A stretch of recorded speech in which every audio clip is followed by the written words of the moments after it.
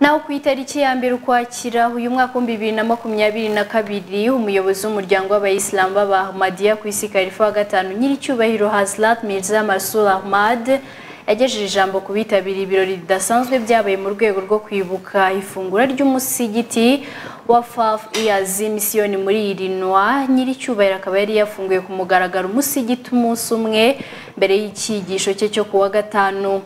Ibirori byari byitabiriwe n'abashyitsi barenga ijana na mirongo ine barimo abanyapolitike abayobozi b'amadini ndetse n'abaturage baho. Ikintu cyaranze ibirori ni ijambo nyamukuru ryatanzwe na Hazrat Mirza Maslul Ahmad aho yavugaga ku buhanuzi bukomeye bwa Mesiya wasezeranijwe.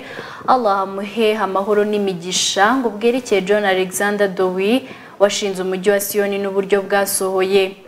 Mu kwerekana ubutumwa bwa Mesiya wasezeranijwe Allah amuha amahoro n'imigisha. Nyiricyubahiro yavuze ko yaje akurikije ubuhanuzi bwa Korani ntagatifu n'intumwa y'Imana. Allah amuha amahoro n'imigisha kugira ngo yongere kubyutsa inyigisho za Islam mu gihe abayisilamu bari baravuye mu mizi yo mu idini ya Islam. Mu gusobanura ubutumwa bwa Mesiya wasezeranijwe Hazrat Mirza Maslul Ahmad yagize ati Mesiya wasezeranijwe. Allah muhe amahoro n'imigisha.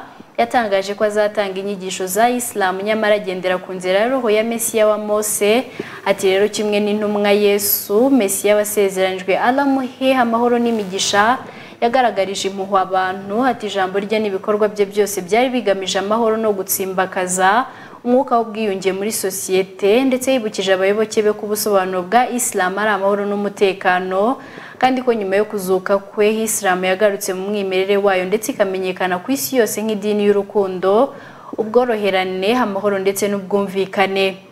Nyiricyubahiro yakomeje asobanura ko intambara zarwanijwe n'intumwa y'Imana Muhammad Allah muhe amahoro n'imigisha ndetse n'abakalifa bane bayoboye mbere nta na rimwe bigeze batangiza intambara cyangwa ngo batere ubugome cyangwa se akarengane ako ari ko kose.